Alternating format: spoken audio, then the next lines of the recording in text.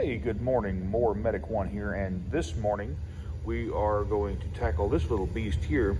Uh, we've got some noise inside the gearbox on an Echo trimmer. So we're going to open this gearbox up, see if we have a bearing bad or possibly maybe a gear that's worn out. So basically it's so super simple to get it off. You just remove your through bolt and you loosen your two clamp bolts and the gear head will just slide right off.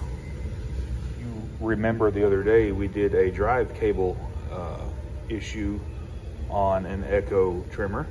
Well, this model has the solid steel with the spline shaft on the end. You just don't have any problems out of these. To remove the cutter head, you just get you a uh, 3 16 pin punch or the tool that came with the the weed eater. And you just come down in here and you line up the hole in the collar on the shaft. And look at all that stuff wrapped in there. And at this point we're going to turn the head to the right to remove it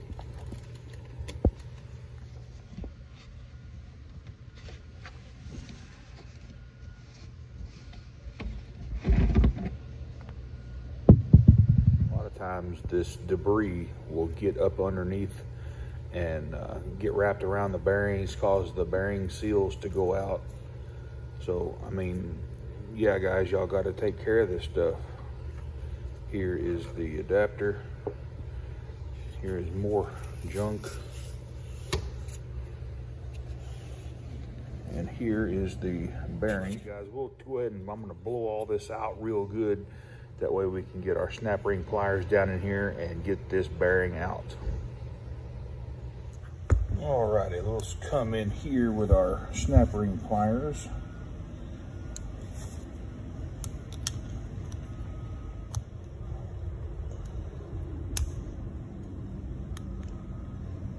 Wiggle that snap ring out of there.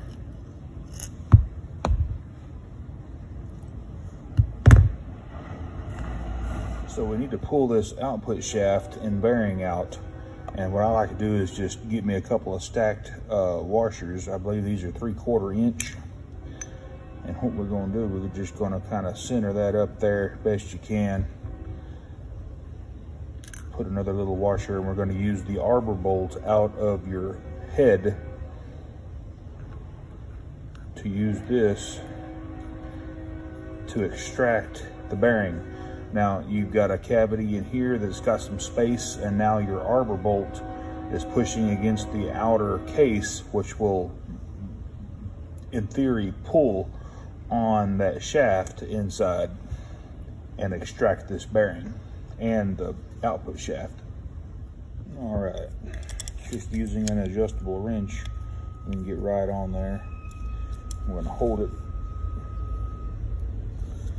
turn it to the left.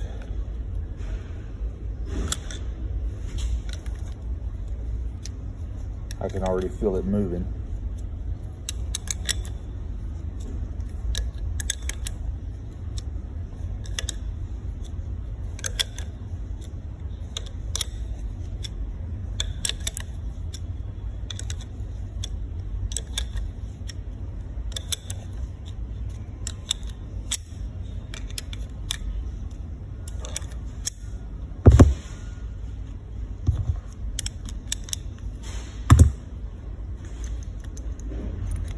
little more.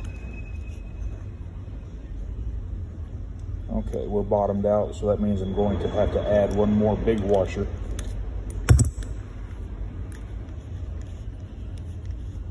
Let's just see where we're at. We're almost out of there, so leave our washers.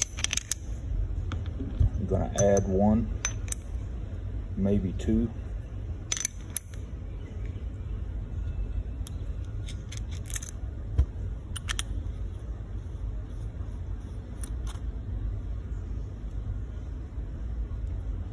center it up the best you can. Oh yeah, didn't take much.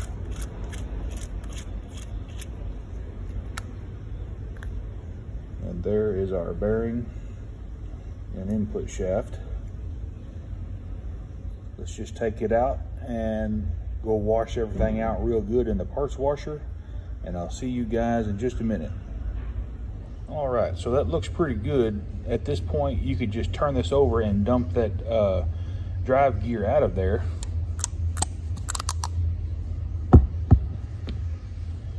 What you want to do is you want to inspect this gear for any nicks, wear marks, especially if the top of the gear starts to knife edge over.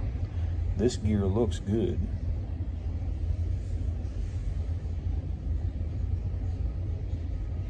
It'll whoop out in here and concave this helical cut gear. And you'd want to inspect this one as well. This bearing is okay.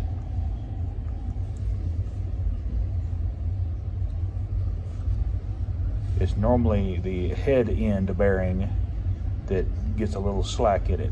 And the bearing that's up in this blind hole right here, hardly ever goes out as well, and this bearing is good.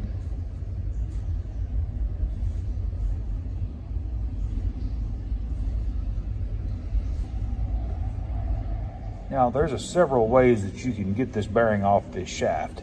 You can tap it off, you can put it in a vise and beat the shaft off the bearing or vice versa. But just to keep from damaging stuff, I'm just gonna use a uh, super simple two-jawed puller.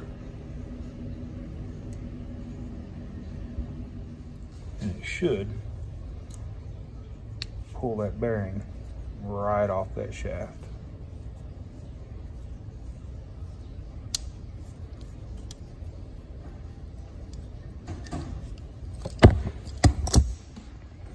Easy as pie without any damage. We always get our bearings down at the local bearing supply because the bearings that come from the factory from Echo, they just use, you know, uh, regular old bearings that you can get anywhere. So that's what we do. But the problem with these are they come sealed on both sides. And so we're gonna dig one of these seals out so that it gets lubrication whenever we uh, reassemble it. I'm gonna go ahead and uh, fill the bottom portion of this gearbox with the high the high performance gear case grease from Echo.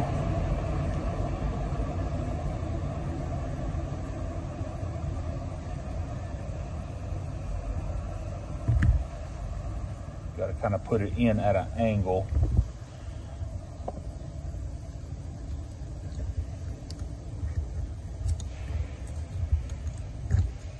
just like that right there. And then put a little bit more grease.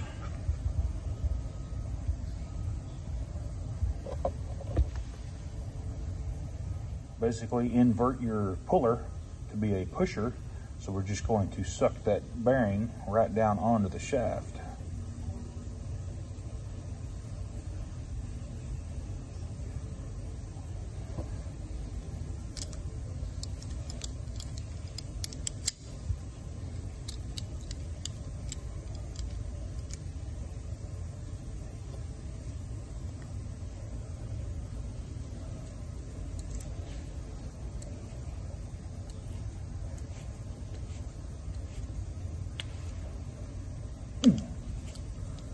That's good. No noise. Good to go. Now, we want to pull, I should have done it before I put it on, but I want to pull this seal out so that whenever we grease the gear head, the grease will actually get into the uh, ball bearings. I went ahead and packed some more of the gear case grease down in there and I put some on the outside of the bearing just to help it slide down into the case here. So basically all we got left to do is reinstall this bearing.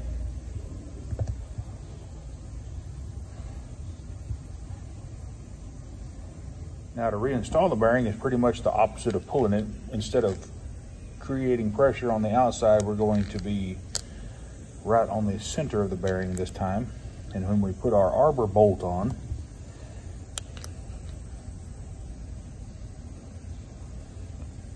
it should just suck it right down in there.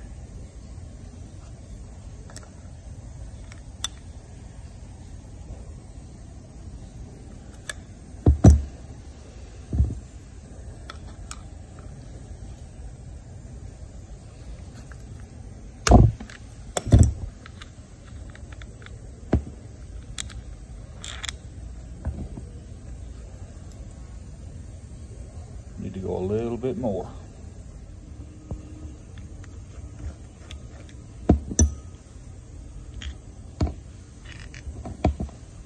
So we can tell we're pushed all the way down we need as far as we need to go past the snap ring and what I like to do once we get that snap ring installed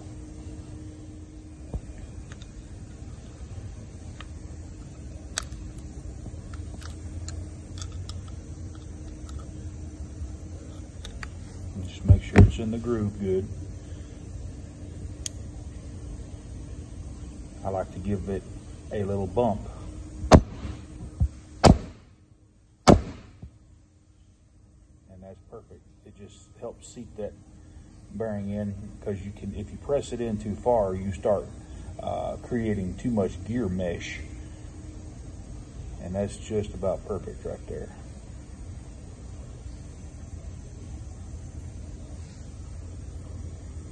Go ahead and slide the gear case on. So far, so good. Put your uh, guard back on and then slide your adapter back onto the shaft. We'll reinstall the cutter head.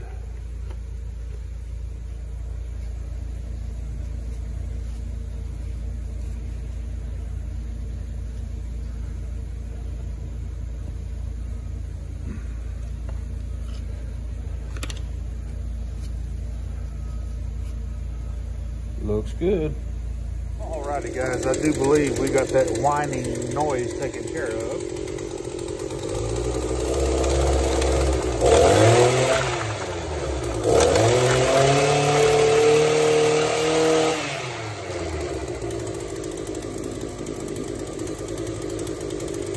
Ran a minute or two, just go ahead and top off your gear case. Just squeeze it down in there until she's full.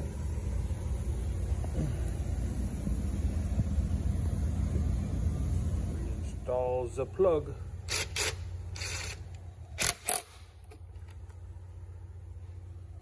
Alrighty guys, we got the noise taken care of out of that little Echo gearbox. And if this content helped you out, please give me a thumbs up and smash that subscribe button. And while you're there, click that bell so you get all my new videos. Anyway guys, have a good rest of your week. We'll see you on the next one.